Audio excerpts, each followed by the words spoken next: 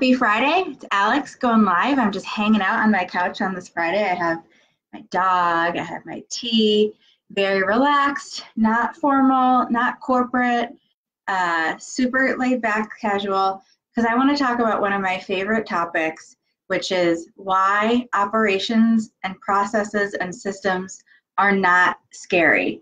So many people, especially people who are more creative minded or what draws them to their work is the big picture mission and their passion for it.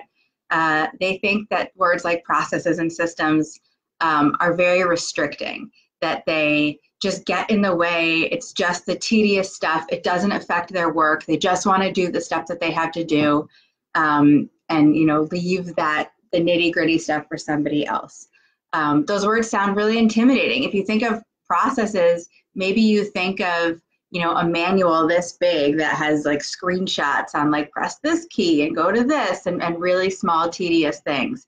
Um, or maybe you think about really stupid redundant steps that you have to follow for some basic business functions. And you know maybe there's a process that you have to do in your workplace that hasn't been updated in a long time so it's sort of out of date but nobody thinks to question it.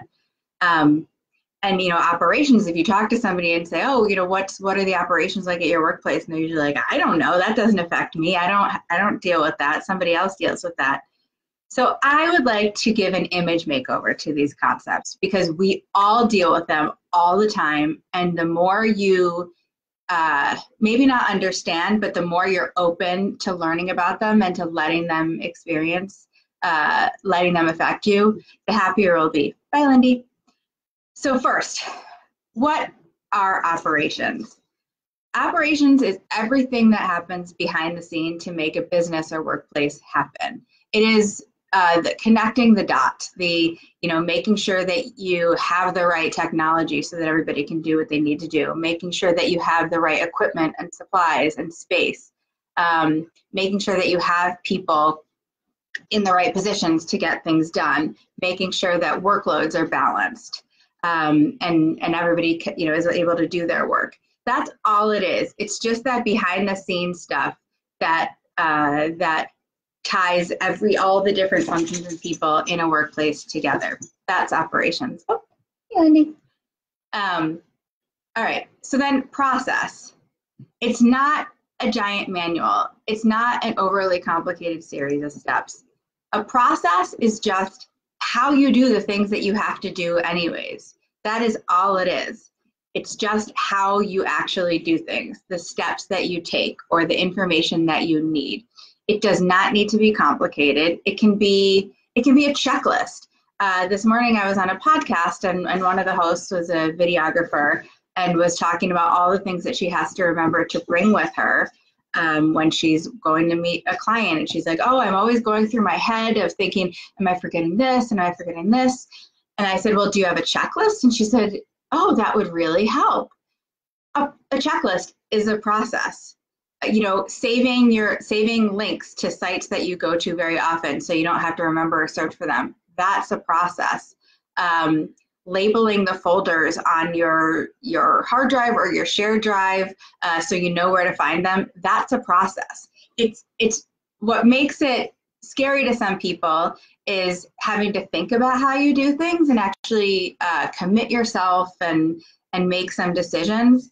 But the way i look at it is it's all things that you're going to be doing anyways. So why not do it in a way that is going to be most effective and most efficient and that really resonates for you and your team so if you have old or outdated things that you're doing at work maybe you can question them maybe you know, there's a form that you physically have to fill out and bring over to somebody because that's just how it's always been done. Uh, maybe now that something can be emailed, or maybe you're now using some collaboration platform and you can just have a function on there. Their processes constantly need to be updated and revisited.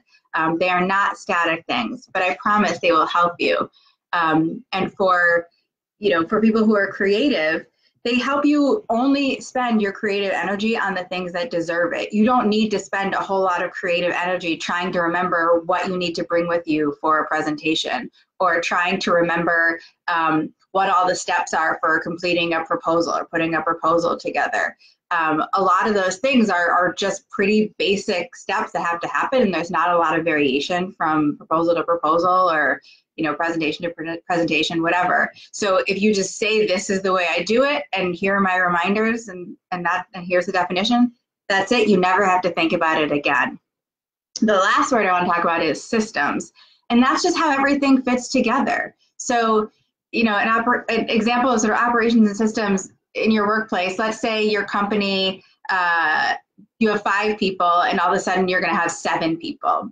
All right, well, you need to make sure that you're adding people to um, whatever shared network or Dropbox or you know make sure people have email accounts. That's operations. Um, but then you need to make sure that on those platform platforms they can access the tools they're going to need and they can connect to the people that they're going to connect with. Those are systems, just piecing together the different parts. So chances are everything you do is affected by process and systems and operations. You just don't realize it. But like I said before, if these are things that you have to deal with anyways, why not spend a little bit of time to make them work for you? They do not have to be scary. They do not have to be complicated. You probably already have a lot of expertise because you've been doing this stuff. So just make it a little bit more deliberate. Let me know if you have any questions. I would be happy to do another video or talk with you offline. Thanks. Have a great weekend.